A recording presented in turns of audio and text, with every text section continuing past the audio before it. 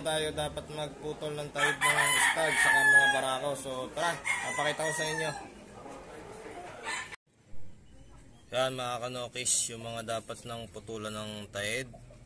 Mapapansin nyo, napakatulis no. Yan.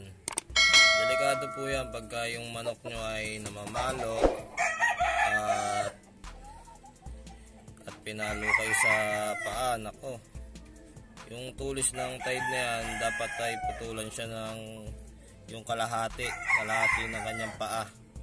So delikado rin niya pagka yung manok nyo ay kinakasta lalo na yung sa inain. Kasi kung makikita nyo napakatulis oh. Oh. Pagka pinalo kayo nyan sa sa may binte naku po ang sakit sobrang tulis niyan. Saka dapat dyan talaga pinuputulan. Lalo na kung gagamitin nyo to sa pangkasta. Kasi kawawa yung likod ng inayin nyo. Pagka hindi pinutol yung ganyang klaseng taid. So kung kayo naman ay yung stag nyo o barako nyo ay panglaban ganitong klaseng putol yung ginagawa ng iba. Papakita ko sa inyo. Ito mga kanokis. Yan o oh. Nakikita niyo yung kanyang tahid. Yun yung klaseng putol ang ginagawa ng ibang naglalaban. Oh, yung kanan matulis. Tapos yung sa kaliwa putol. Dahil nga sa kaliwa ay kinakabit yung tare.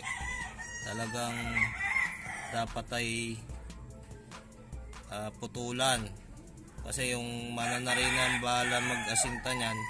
At yung syempre may may time na napuputol yung tare uh, kaya yung kanan kumbaga parang pang reserba kaya hindi nila pinuputol yan yung kanan yung tahid ayan o ito kasing stag na to ay uh, ilalaban na sana. So na uh, iatras dahil nga kulang sa budget.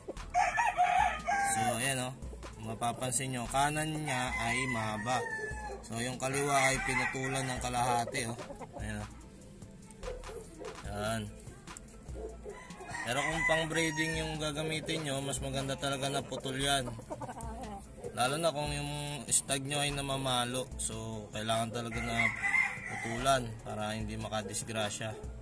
So sa sparring din, napakadelikado kasi pagka tinamaan yung manok nyo, uh, tapos wala kayong gloves. May tendency na mabulag yung ating manok. So yun lang mga kanokis. Sana meron kayo natutunan.